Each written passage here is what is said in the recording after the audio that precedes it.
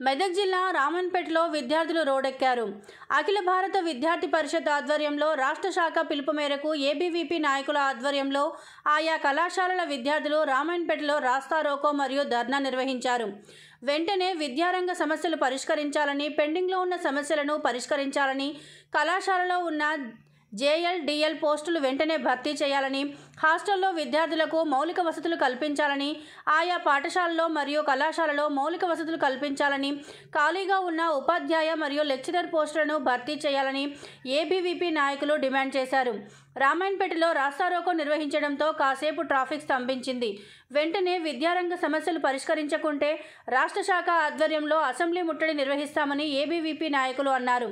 ఈ కార్యక్రమంలో ఏబీవీపీ నగర కార్యదర్శి ప్రశాంత్ సంయుక్త కార్యదర్శి సంపత్ శివ ఎస్ఎఫ్డి కన్వీనర్ నరేష్ కార్యకర్తలు రేవంత్ గణేష్ సాయి సంతోష్ ఆయా కళాశాలల విద్యార్థిని విద్యార్థులు కళ్ళకు గంతలు కట్టుకొని తమ నిరసనలు తెలియజేశారు.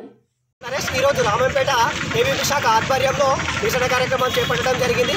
ఎందుకంటే మన రాష్ట్రంలో రెండు వేల రెండు వందల కోట్ల స్కాలర్షిప్లు పెండింగ్లో ఉన్నాయి. స్కాలర్షిప్ల మీద ఆధారపడి ఎంతో మంది పేద విద్యార్థులు చదువుకుంటూ ఉన్నారు. ఈ స్కాలర్షిప్లు ఆగిపోవడం వల్ల పై విద్యకు వెళ్ళలేకపోతున్నారు.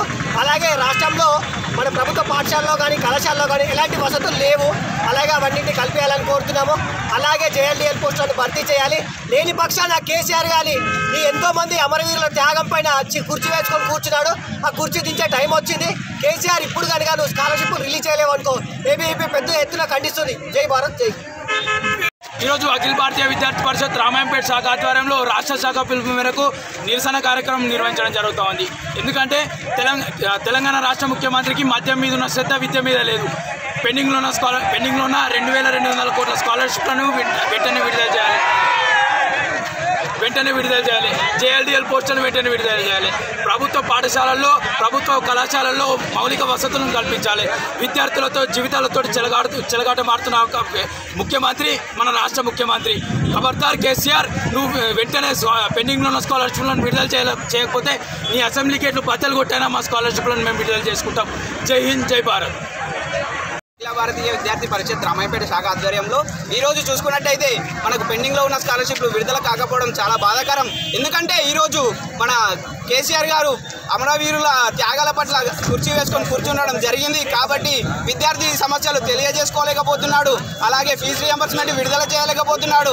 హాస్టళ్ళలో కానీ స్కూళ్ళలో కానీ మరి కాలేజీలలో కానీ గవర్నమెంట్ వసతులు ఏమీ రాలేకపోతా చాలా ఇబ్బందులు పడుతున్నారు పేద విద్యార్థులు. అలాంటిది ఈరోజు మద్యం ఉన్న మద్యం మీద ఉన్నంత శ్రద్ధ విద్యార్థుల పైన విద్యారంగం పైన చూపెడతలేడు. అసమర్థతతో నడుస్తున్నాయి ప్రభుత్వం చాలా రకాలుగా విద్యార్థుల పైన ఇబ్బంది పడుతుంది. దయచేసి మీరు దాన్ని గమనించి ఫీజు రీంబర్స్మెంట్ వెంటనే విడుదల చేయకపోయినట్లయితే మీ అసెంబ్లీ గేట్లను ముట్టడిచ్చి మరియు అఖిల భారతీయ విద్యార్థి పరిషత్ డిమాండ్ చేస్తూ ఉంది.